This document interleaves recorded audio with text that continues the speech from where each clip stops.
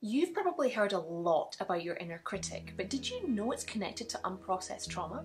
So let's talk about the impact that trauma has on your inner critic, and I'll give you three tips to try and banish your inner critic for good.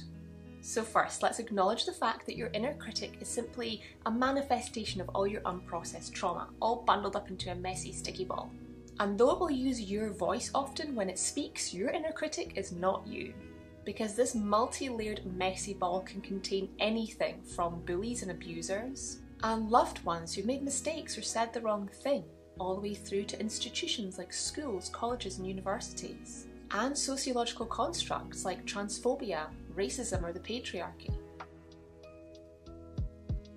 So my first tip for minimising your inner critic is to name it. When we assume that our inner critic is just us being very mean to ourselves, it's a pretty tricky one to tackle. But by naming the inner critic, you begin to unveil it and it will lose some of its power. Unless you're in therapy or working with somebody in psychology like myself, I would highly recommend that you name your inner critic after a character rather than somebody in real life, because this can be pretty triggering. And I have some fantastic examples from my own patients and clients of what they have named them. Professor Snape, Mother Gothel, Ursula the Sea Witch from The Little Mermaid. And I have had Regina George and even Donald Trump. You'll find that some inner critics are quite demanding, whereas others might be quite punitive and some have a mixture of both. But by simply naming our inner critic, we can begin the second phase of this process, which is shaming it. By the way, if you're enjoying this video, please go and hit the like button. It would absolutely make my day and it really does help others know I exist. Sometimes it can be really tricky to differentiate our own thoughts from the voice of the inner critic. So, my second tip in this process is asking yourself Would I say this to a loved one? You tend to find that if the script running through your head is not what you would say to a loved one, it's much more likely to be your inner critic. You'll also find that the inner critic will use phrases and language that doesn't actually belong to you.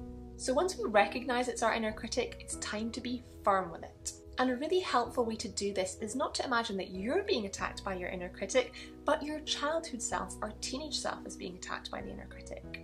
We want to stand up for them and use very firm, confident language like, we don't speak to children like that. Or, we would never expect that of a teenager, that expectation is much too high. Even, they're doing their best right now and I am very proud of them.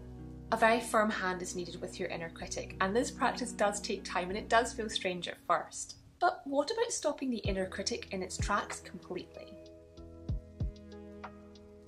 So my final tip actually comes from the book Chatter by Ethan Kross. It's a great read and I'll link it below. When we consistently talk to ourselves in the first person, it's quite easy for the inner critic to swoop in and interject in that conversation. For example, we might go from saying, wow, I really messed up that exam today, and the inner critic will jump in with, I'm such an idiot. I'm definitely going to fail. There's no way I'm going to progress to the next level. Oh, I suck at everything.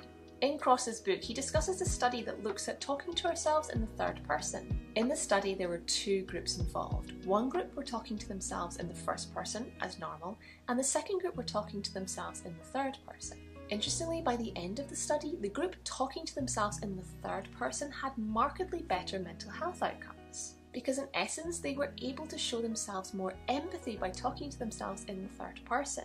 And I suspect this is because by talking to ourselves in the third person, we're able to show ourselves much more empathy, the empathy we would actually show a loved one. And often it can be hard ordinarily to show ourselves that empathy. And I also suspect that this group talking to themselves in the third person were able to stop the inner critic in its tracks. It had no real way to interject or jump in. It couldn't sabotage the self talk. For example, Ruth really struggled in that exam today. It was a tough one, but she studied hard and she gave it her all, so for that I'm really proud of her. I truly hope these three tips were helpful and see how you get on by naming your inner critic, shaming your inner critic, and trying to remove it entirely by changing your self talk to the third person. Remember, everyone has an inner critic, and while we can't get rid of it entirely, we can minimize it so it's not intrusive in our days. I really hope you've enjoyed this video and thank you so much for sticking with me until the end. I'll see you very soon, my love.